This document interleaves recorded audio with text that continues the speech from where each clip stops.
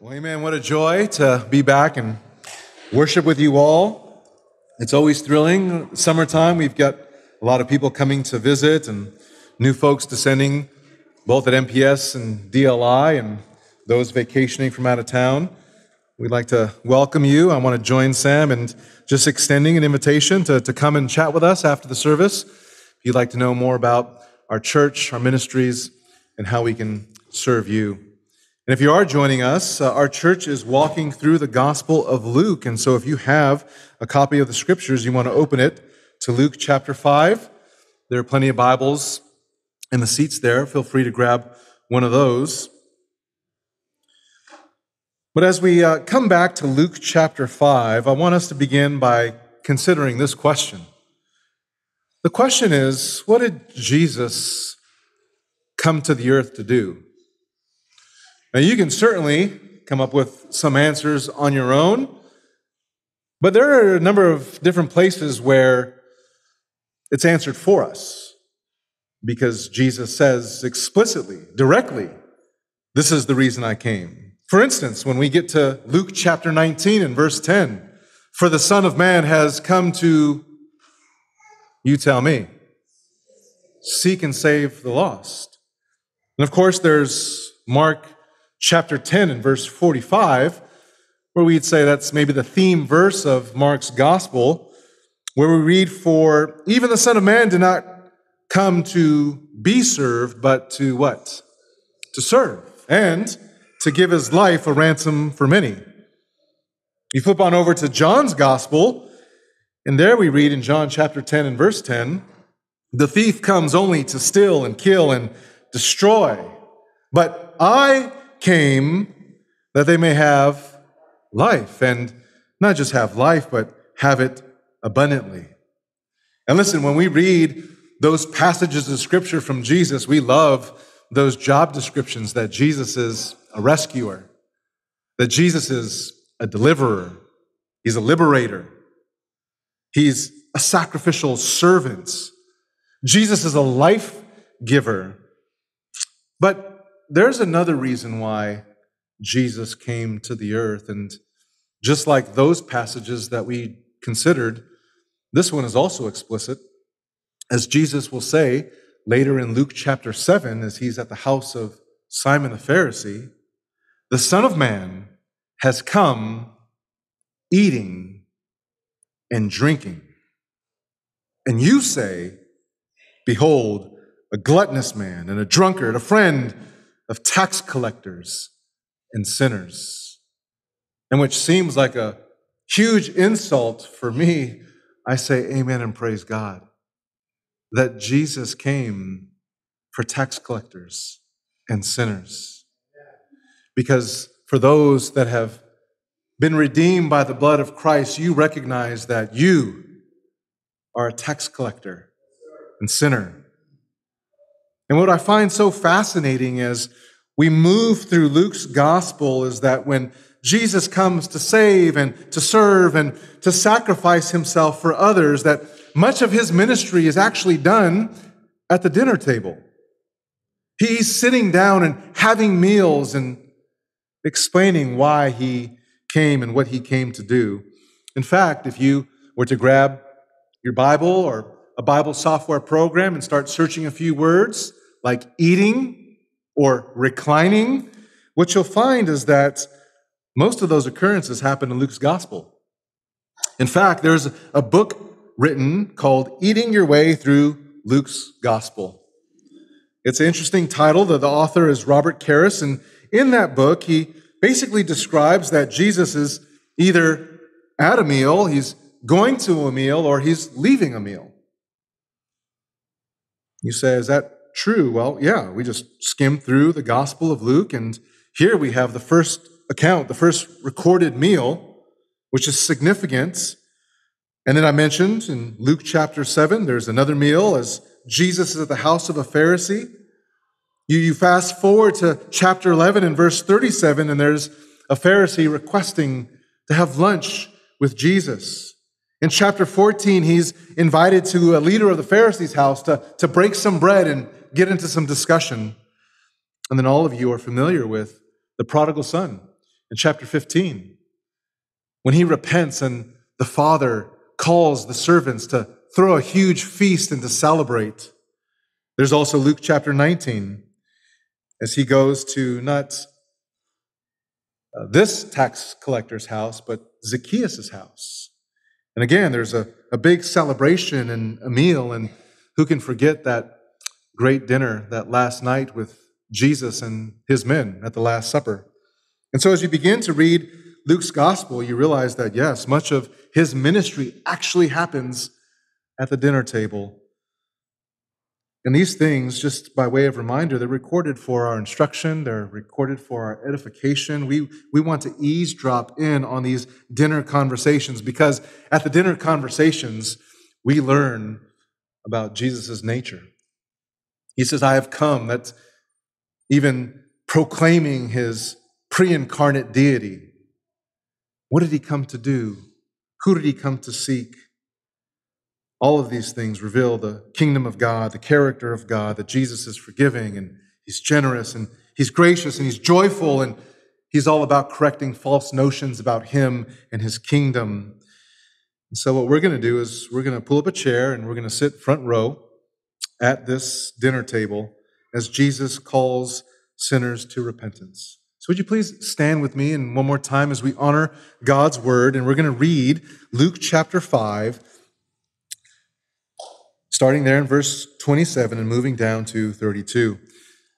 Here, once again, is God's word. It says this And after that, he went out and noticed a tax collector named Levi sitting in the tax office.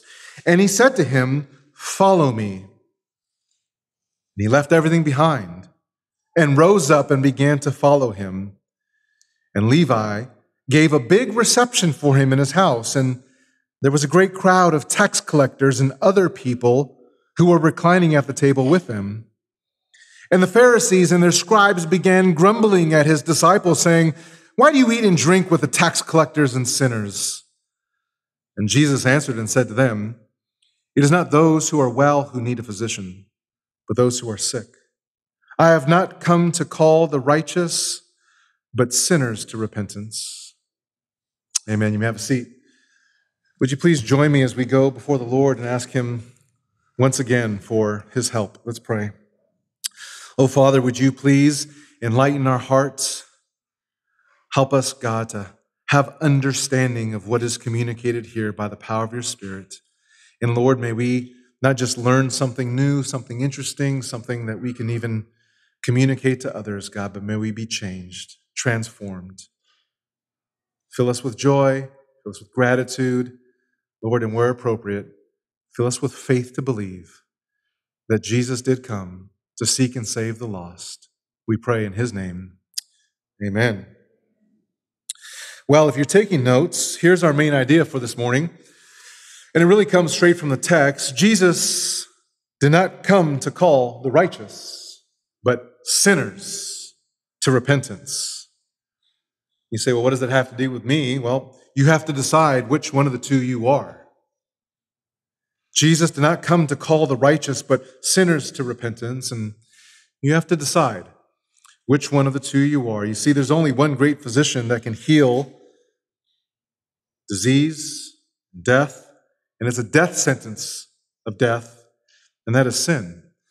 Sin causes death. Jesus is the only one that could defeat sin.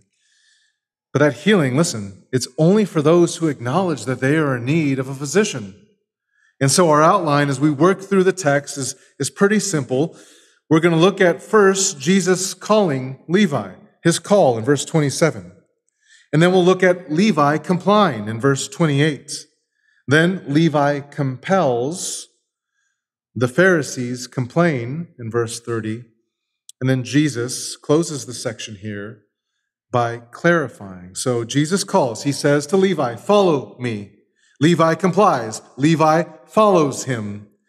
Levi is compelled now, now that he's following Jesus, he wants others to follow Jesus. The Pharisees don't like this. They don't want others to follow Jesus, so they complain and criticize. And then Jesus clarifies by saying, This is the very reason why I came so that sinners can follow me. Well, there's our outline. Let's begin with point number one Jesus calls. It says there, and after that, this is simply a time marker. It tells us that Jesus' encounter with Levi comes on the heels of a series of miracles that we've studied over the last several weeks. But the healing of the paralytic, like we looked at last time, is markedly different than what we've seen previous. You say, well, what's different? Well, Jesus' authority to cast out demons was amazing. His ability to cast out a fever, to, to catch fish, all of those things were fantastic. Cleansing a leper, no one has ever seen anything like this before. But what makes the healing of the paralytic so interesting is what he says when he does it. Which is easier to say? Get up and walk, or your sins are forgiven. And you remember his response there in verse 24. But so that you may know that the Son of Man has authority on earth to forgive sins, he says to the paralytic, I say to you, get up and picking up your stretcher, go home. Listen, no one does, no one says these kinds of things. And the Pharisees actually got it right. This would be blasphemy if it were not coming from the mouth of God Himself.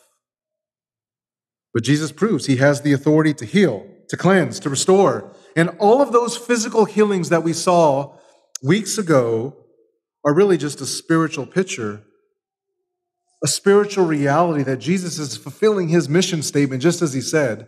Look back over to Luke chapter 4 and verse 18. That's where we learned about Jesus' mission statement. We recited ours here this morning. Jesus has his own. It's there in verse 18. The Spirit of the Lord is upon me because he anointed me to preach the gospel to the poor.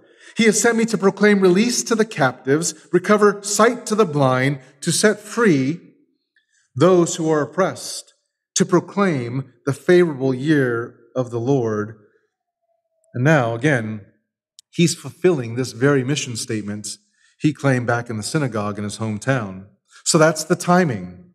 And now, what does Jesus see? Well, it says here, he went out and noticed a tax collector. And that word there, translated notice, is it's not just a casual glance. No, what Jesus does is he actually fixes his eye on Levi with divine intentionality. See, there, there's plenty of people around Jesus. There's, there's crowds always around Jesus at this point. But Jesus sets his sights on Levi because it's time for this man's life to be totally transformed. You say, well, what do we know about Levi? We'll start with his genes, Levi's genes.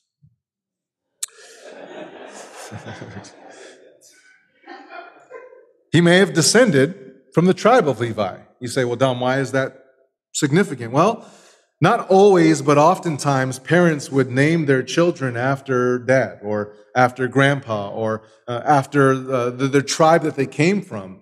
And you say, well, what about the tribe of Levi?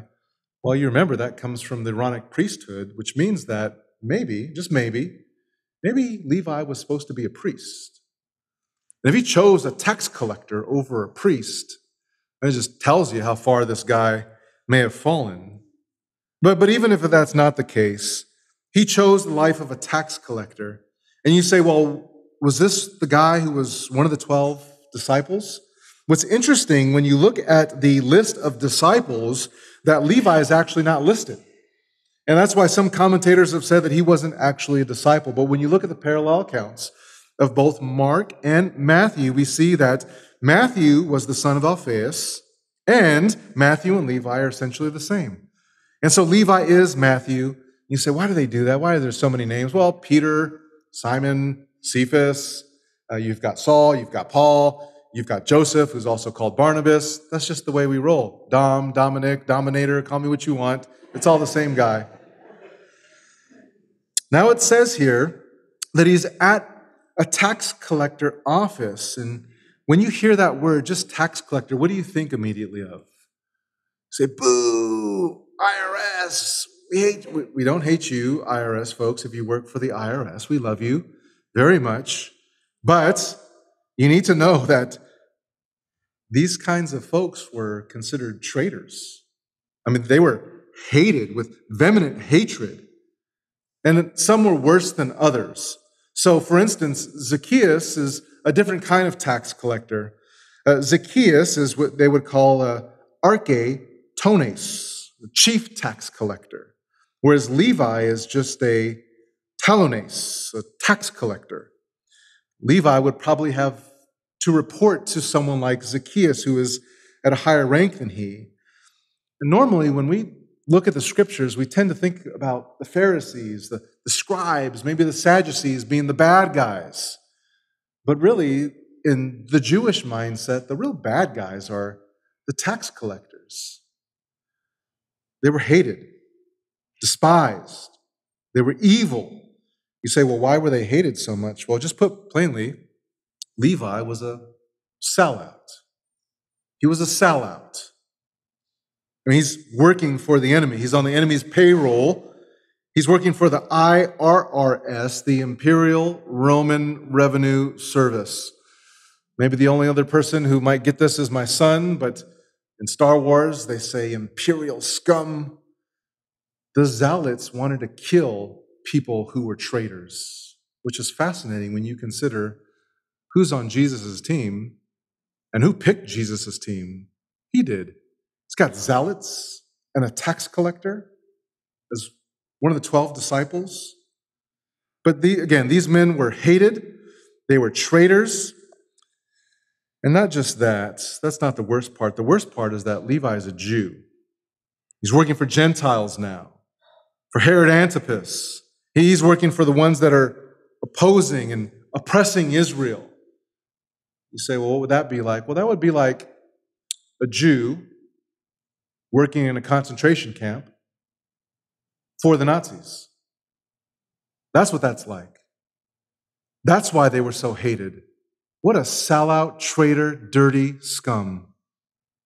And when you read uh, in the first century, they had all kinds of words for them. In the Talmud, they talked about how tax collectors, like the unclean beast of the Old Testament, they were referred to as extortioners, hucksters, one writer even said that they were shepherds of fornication. And there's all kinds of other colorful names, but you get the picture. And within Judaism, look, even the liberals and the conservatives, which, like our day, liberals and conservatives don't agree on anything, but back then they agreed that it's perfectly justified for you to lie to a tax collector. You can sin if you're sinning against a tax collector. It was even believed that if a tax collector had truly repented, that they would die immediately afterwards. And if they didn't die, then it was an indication that they were lying. This is the kind of reputation a tax collector has. You say, well, that doesn't seem like a great career choice. Well, it, it's a great career choice if you love money. It's a great career choice if you have no morals. It's a great career choice if you've got no problem ruining people's lives.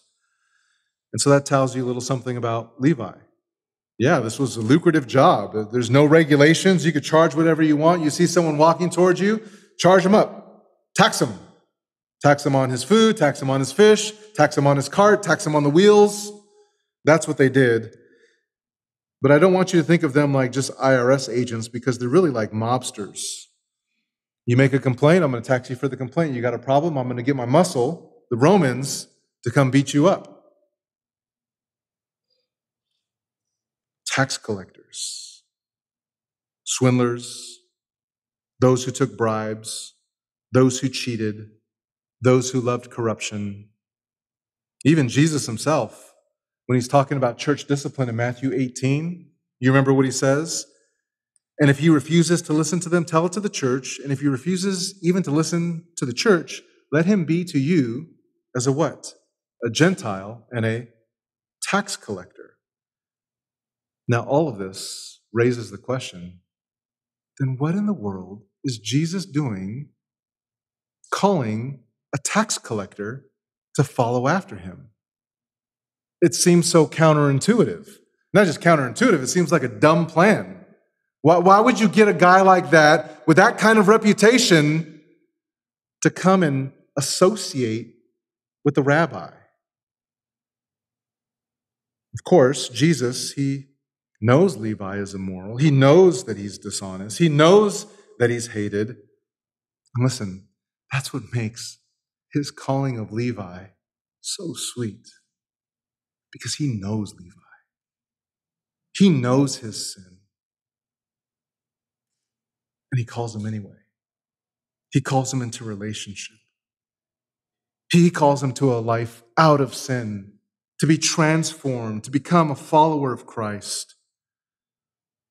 Now, the religious leaders, they wanted a Messiah who was going to come and fight Rome, not ask Rome to follow after him.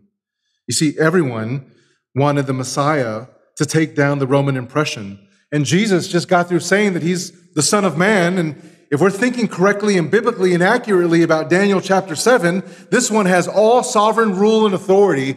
So he's the one that is going to put down Rome. And so we want him to fight. And so maybe when he's looking at Levi at the tax booth, maybe people are like, yeah, go get him, Jesus. Go flip some tables. Go smack that guy around. But instead of hating Levi, Jesus has a heart for him. Instead of fighting with him, he says, Follow me. Now, I love this word. This is such a, a great word and worth our consideration. Akoluthelo. It just literally means to walk the same road or to move behind someone in the same direction. You see, the command, follow me, it's a clear call to be a disciple. But R.C. Sproul says that before we jump to just thinking about discipleship, think a little literal here. Let me, let me read you this quote from R.C. He says, Rabbis in the ancient world, that's what they call a peripatetic teacher. He would move about the countryside with a group of students around him, and they would follow him wherever he went. As Jesus walked down the street or through the community, the disciples would walk along or behind him, committing to memory the words he uttered. The disciple was a person who joined himself to the company of a rabbi and was committed to mastering whatever it was that the rabbi could transmit to him by way of teaching. that word, disciple, is the word mathetes, which means simply learner. A disciple of Christ is one who studies under Christ, who submits himself to the teaching of Jesus, who listens as the master speaks, who seeks to understand what the master is saying, and to emulate the response that the master requires. And then R.C. says the life of a disciple is one of service and of study and of obedience. And so when Jesus calls him to himself, that is what he is calling Levi to complete and total life change. Your life is no longer your own. I want you to follow me. And that present active indicative is just a reminder that it's not today or this week or for a month, but he's saying, Follow me forever. And so Jesus commands Levi, Follow me. You say, Well, what does Levi do? Well, verse 28, point number two Levi complies. It says there, and he left everything behind and rose up and began to follow him. I, I keep coming back to how many gasps must have happened in chapter four and five. You say gasp, yeah, a bunch of fish just pop out of nowhere. what was that? I've never seen that before. Jesus reaching out, stretching his hand to touch a leper. Imagine the gasp when Jesus did that. There's collective gasp all over the place, healing a paralytic, saying that someone's sins can be forgiven. well, this is no different. A Jewish rabbi claiming to be the Messiah, calling a Jewish trader and tax collector to be his disciple. And when we look at Levi's response, it is utterly astonishing because he doesn't, hmm, interesting, Jesus. Let me think about it. There's others who will come up with excuses for following Jesus. Uh, my dad just died. Let me go. Let me go bury my dad. I've got a business here. Let me go figure that out. No, what he does is the text says he immediately he gets up and follows after him. I mean, don't you have some questions? Where are we going? How long are we gone? How am I going to provide for myself? If I leave my booth, who's going to pay for my food? There's all kinds of questions Levi could have asked. We don't get any of that. What we get is what the writer the Spirit of God wants us to understand is that he just got up and followed after him. That doesn't just say something about Levi's commitment, which is amazing, but it says something about the compelling nature of Jesus. It says something about his character. It says something about his person. That this is a guy that I, I want to follow. Now, friends, if Christ is calling you, don't hesitate. Don't put this off. Don't think that some other time is going to be a more convenient time. That might not be the case. I remember thinking, oh, when I get out of high school, okay, when I graduate from college. And people go down this road of just pushing when I get married, when I get a job, when I buy a house, when I have another car, when I'm a grandparent, when I retire. And there's a whole string of people, countless people that have said, not yet, that are in hell. If Jesus calls you, don't wait. Someone said delinquents don't make good disciples. Now, the question we have is what, would this have meant for Levi? Well, Matthew and Mark says that he arose and followed him, but Luke gives more detail. Look there again at the text. It says, and he left everything behind. What did it mean for Levi to leave everything? The, the terminology is pointing us to this de- decisive break. He's completely left his former way of life. And, and the word here, I, I love the word, is kata lepo. The preposition kata is intensifying or strengthen. The verb, which is lepo, which means to totally abandon, to totally leave behind. We come across this word a couple of times in scripture. And so you'll be familiar with this one that we are to abandon family. You say, where does it say that? Well, a man should kata lepo his father and mother and be joined to his wife. The same thing when Moses, he left Egypt it says there in Hebrews 11, 6, regarding the reproach of Christ as greater riches than the treasures of Egypt, because he was looking for a reward. And so Moses, kata lepo, Egypt. The, the disciples say, hey, look, we can't neglect the word of God to serve tables. Same idea. Peter and Andrew so far left their boats, left their business. John and James, the sons of Zebedee, left their father, left their business. And here, Levi walks away from all the financial security. He, he walks away from all of his muscle. Where's he going to go? Because you're not just walking back to the Jews and be like, hey, guys, sorry. No, he's going to be hated by both groups.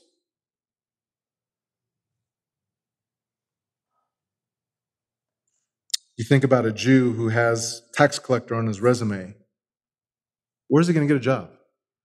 In Israel. I mean, think about what it meant for him to walk away from all of those things. He must have had a good reason.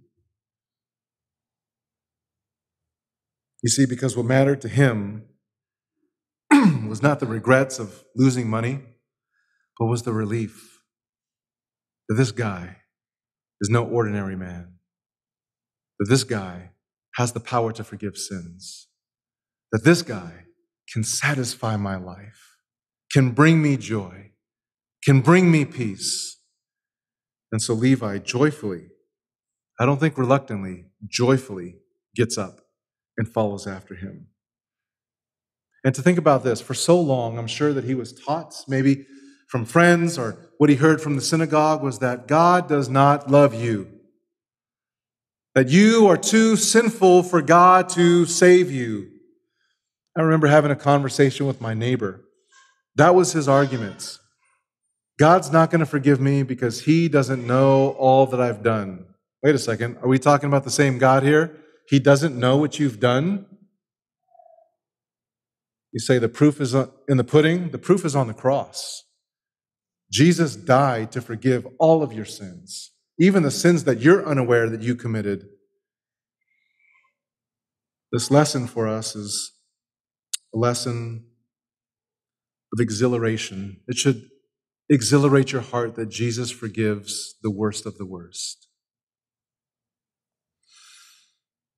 Well, Levi, he trades this financial security, but it makes sense because he's got a greater reward.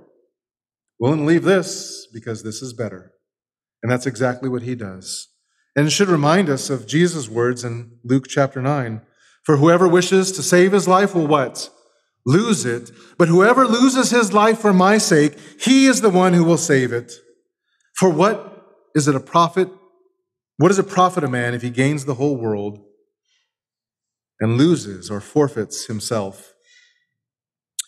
But it's also interesting to note that there's an order here of Levi becoming a disciple. Because it's not just him forsaking everything, but it's also him forsaking and following. So it is a twofold action. There are lots of people who kick the habits and kick the drugs and kick the pornography and they just take on something else and become addicted to that thing. But there's a twofold action here. So positionally now, he's going to be justified and practically speaking, he's going to be sanctified. Friends, if you want to know what it means to be a Christian, you can boil it down to this you need to be justified. How do you know that you're justified? There's going to be some evidence of a justified life. You're going to be sanctified, not perfect, but it's not about how perfect you are as much as it is the direction. Which direction are you going? Anyone who claims Christ, anyone who calls themselves a Christian, if you are not walking in step with Jesus, if you're not truly following him, you need to examine yourself. You need to examine your walk. John in 8, chapter 8, verse 12, he said, Jesus again spoke to them, saying, I am the light of the world. He who follows after me will never walk in darkness. You want some evidence to know if you're truly a follower? Are you walking in darkness? Yes or no? Galatians 5:16 I say to you walk by the spirit and you will not carry out the desires of the flesh. You, you want to have some evidence to know if you're full, truly walking after Jesus? Are you walking by the spirit or are you filling the desires of the flesh? Paul says in 1 Corinthians 11:1, 1, "Be imitators of me as I am of Christ." Are you following in other people's example of godliness and holiness and truth? Just some helpful reminders when you say, I don't know what it means to, to walk after Jesus. Well, do you look like him? Do you think like him? Do you act like him? And it's hard to do all those things if you're not in the Word of God. Well, listen, if again, if you're visiting, you need to hear that being a disciple of Jesus is more than just coming on a Sunday.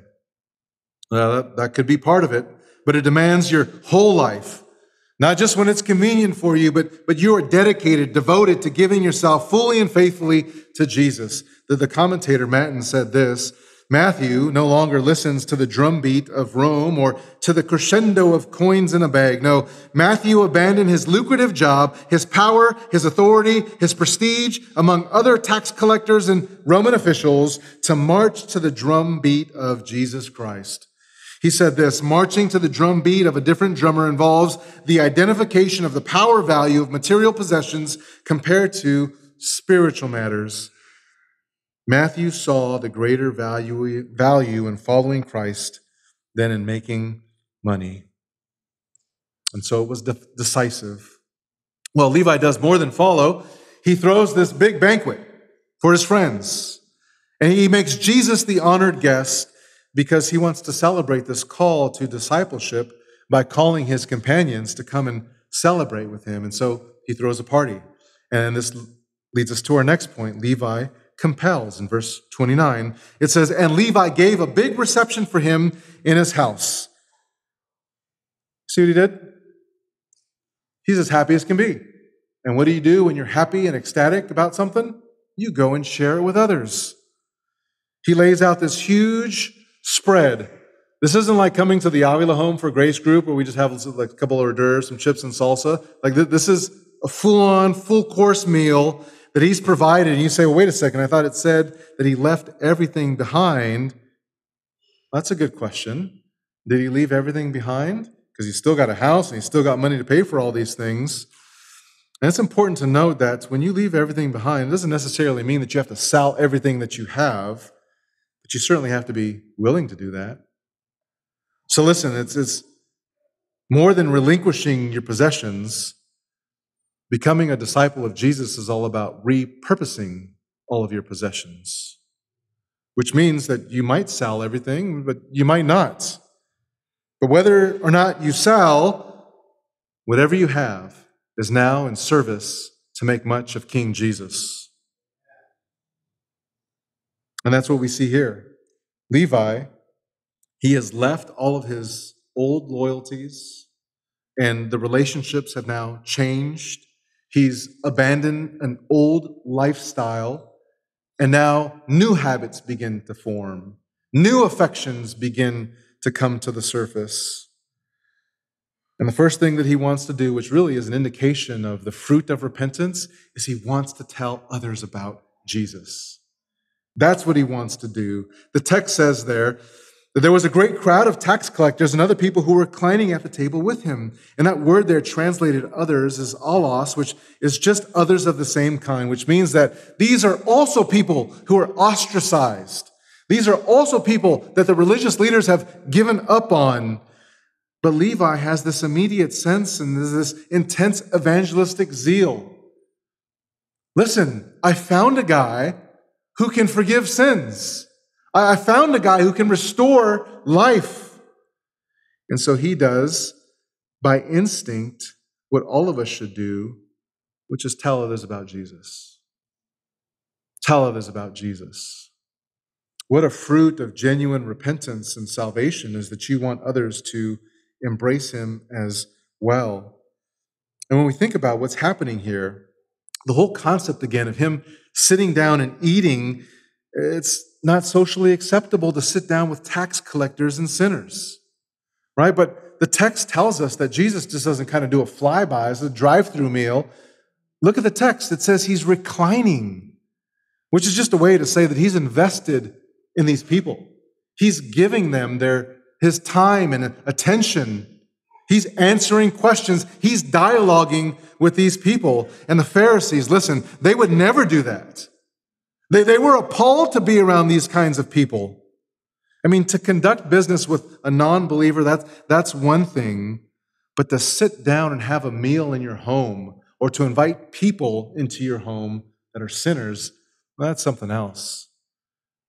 You're communicating more than just sharing a meal. No, you're not just feeding the belly, you're, you're fostering fellowship. You're saying, This is my friend. And so, again, the, the Pharisees would never even think about doing something like this. But what Levi says is look, sinners, friends, we are great sinners. But today, at the dinner table, we have a greater Savior. It was John Wesley that said, No man ever went to heaven alone. He must either find friends or make friends.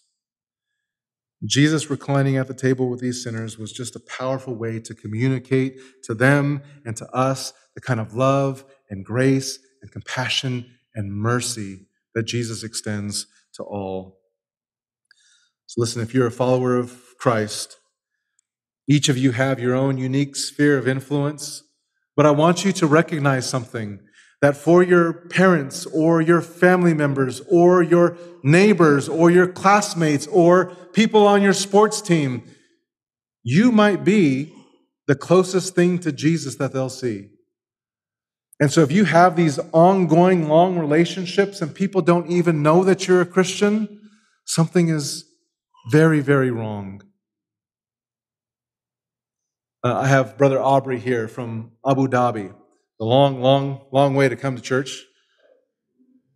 But they're here for just a couple of weeks as they're making rounds to other churches. And Aubrey said what many others have said who have come to visit our church Your church is so hospitable, people opening up their homes, feeding us. Brothers and sisters, I love hearing that. And we need to excel still more. But when we think about hospitality, technically it's stranger loving. I think we're really good at loving one another. We, we are. We were excelling at loving one another. But I want to challenge you push on the button a little bit. Do you have people like this coming into your home? Are you inviting non Christians just for the sake of feeding them some tacos and telling them about Jesus? Are you praying like the Apostle Paul when he prayed in Colossians? Pray at the same time for us as well that God will open a door for the word so that we may speak the mystery of Christ. He says that we would walk in wisdom toward outsiders, redeeming the time. Let your words always be with grace, seasoned with salt, so that you will know how you should answer each person. Listen, Brother and sister, are you letting your light shine so people might see your good works and glorify your Father in heaven? Well, we learn also that this isn't a private meal. Take a look there. How do we know this? Well, because this party has now attracted all kinds of attention. The Pharisees are present, and it's the scribes of the Pharisees that are there. They're listening in on the discussion. But like a bunch of hard hearted skeptics sitting in a church service, these guys are there not to try to gain understanding, but to undermine everything that Jesus is doing and saying. It says there, verse 30, and the Pharisees and their scribes, they began grumbling at his disciples, saying, Why do you eat and drink with tax collectors and sinners? And this leads us to point number four. The Pharisees complain. And notice that their complaint is not actually to Jesus. They don't go to him. Who do they go to? They go to his disciples and they criticize the master to the disciples. And their criticism is not constructive. No, it's actually condemning. Why is he doing this? If he was really a godly man, he wouldn't be doing this. You see, the Pharisees, they were concerned primarily about contamination. And contamination happens that we learn with the leopard in proximity. You touch a sinner, you become a sinner. That's their fear. Their, their fear is guilt by association. But Jesus comes, and not only does he associate with lepers and outcasts, but again, he's eating with them, dining with them, and that is what enraged these Pharisees. But really, their complaint, it reveals their hearts. Their pride is a fruit of unbelief, complaining against God, judging others, sentencing people, condemning them. It's a clear indication that they didn't understand God's grace and mercy. They, they didn't want them to be forgiven, they wanted them to be punished. The full letter of the law. But listen, I got to tell you this because often when we look at the Pharisees and the scribes, we say, Go get them, Jesus. But I just want to remind you that they wanted to see the covenant promises fulfilled, that they wanted the Messiah to come, that they wanted the kingdom. But what they didn't understand is that the kingdom is only for those who recognize that they are sinners. And that is the problem so I hate their criticism, but I love that they ask this question because the question is, how can a godly person, how can a holy person, how can a pure person be around sinners and praise God that Jesus, being holy and godly and pure, was willing to come and be amongst sinners like you and I? And he can do it. He can be completely unstained and not be isolated from sinners. He, he can be together with sinners, but be untouched by their sin. And this incident ends with an important clarification by Jesus. Look there in verses 31 and 32. It says, And Jesus answered and said to them, It is not those who are well who need a physician, but those who are sick. I have not come to call the righteous, but sinners to repentance. And so Jesus responds to their criticism with some criticism of his own, but it's kind of couched in irony here. You see, listen, you, you don't call a doctor unless something's wrong with you. So, you guys remember when I was sitting here preaching because I tore my Achilles? And right after I tore my Achilles, I started having some really bad chest pain. I thought, oh is this a heart attack? What's going on? Is this indigestion? Is this constipation? What is, what is going on? So I had a call my doctor, Dr. Tim. Well, PA, almost. So I called Tim. I said, Tim, man, I, I'm not sleeping at all. Every time I lie down, my chest hurts. It's like to the point of tears. I'm really struggling. and I'm not sleeping. I need you to come. So Tim comes and does his little examining, and we figure out a few things. Tim, I'm going to butcher this word because this is one of those technical words. Costochondritis? Cos- Costco. Costco. I had Costco. Costochondritis. I had an inflammation in the cartilage that connects the rib to the breastbone, and on top of that, I had bronchitis. And I wasn't going to get any better unless I actually saw a doctor. And once I did, well, let's, let's get this thing fixed. But, but do you see the problem here? If you keep saying, I'm fine, I'm fine, I'm fine, then you'll never call on a doctor, and therefore you won't be healed. And that is Jesus' point. He's not saying that they're actually righteous. He's saying you think that you're righteous.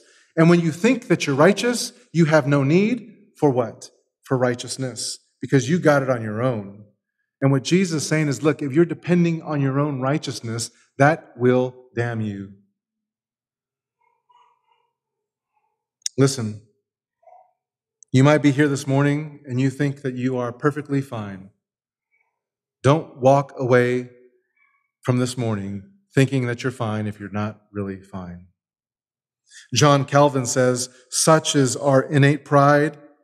We always seem to ourselves just and upright and wise and holy until we're convinced by clear evidence of our injustice, vileness, folly, and impurity. And that is why we preach and sing what we do.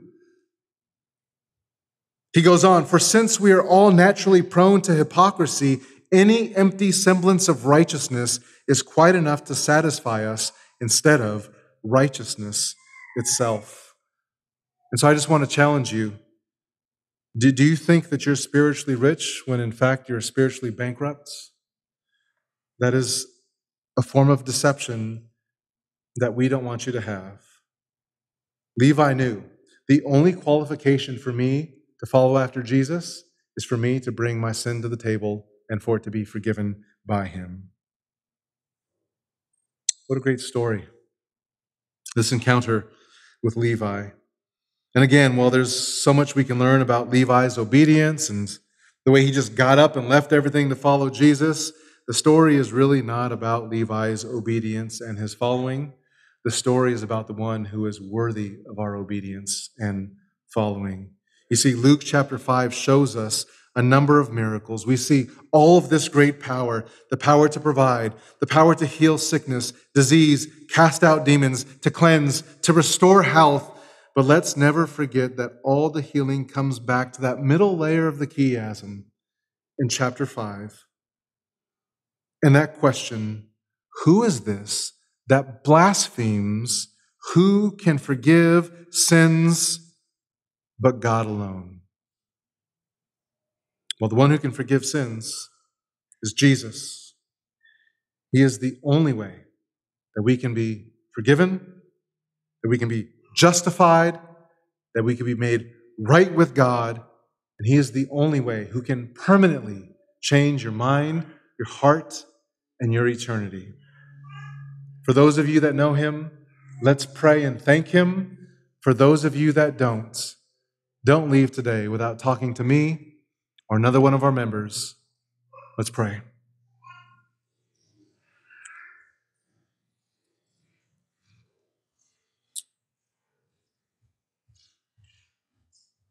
Father, sin is deceptive. It's wicked. It makes us think something about ourselves that is often not true. And Lord, how terrifying for any of us to walk away thinking that we are healthy when we are in fact not. Father, for so many years, I thought that I was right with you because of church attendance, because I wasn't doing as bad the things that my friends were doing, because I turned on the TV and saw murderers and rapists and thought to myself, well, I'm not that bad.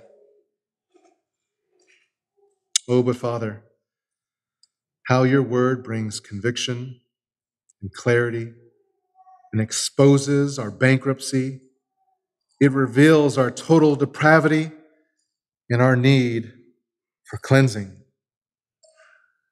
for redemption, for salvation.